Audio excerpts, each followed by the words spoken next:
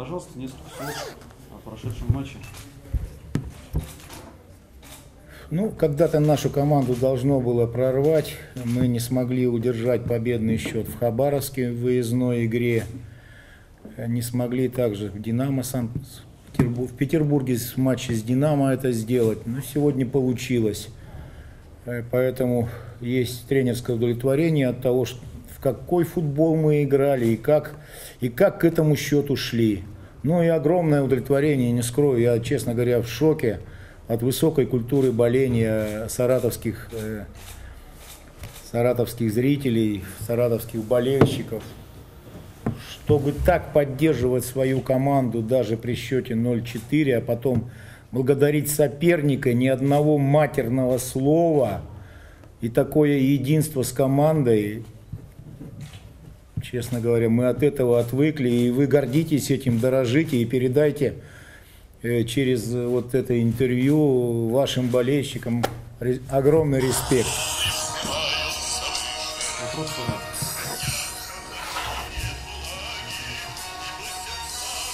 Извините, это генеральный директор звонит. И...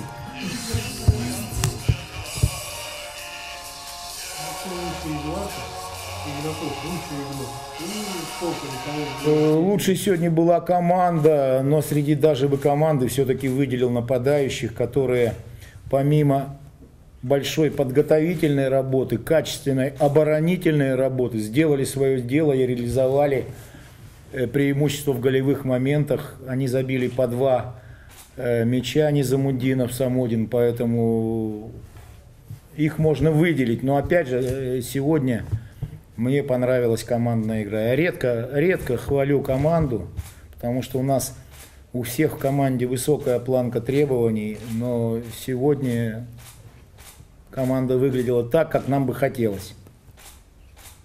Александр Павлович, скажите, пожалуйста, когда вы поняли, что уже этот матч не упустите победу, как вы сказали, как это было в Петербурге, в Хабаровске, было, было ли такое ощущение?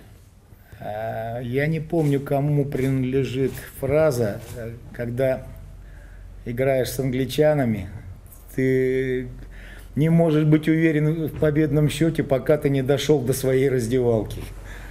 То есть, э, наверное, при счете 3-0 появилась уверенность, что, но переживал, что мы хот... очень хотел, чтобы мы сыграли на ноль. К сожалению, не получилось. Но это, наверное, заслуга саратовских футболистов, которые не опустили руки. И э, для болельщиков, мне кажется, э, старались забить этот гол престижа.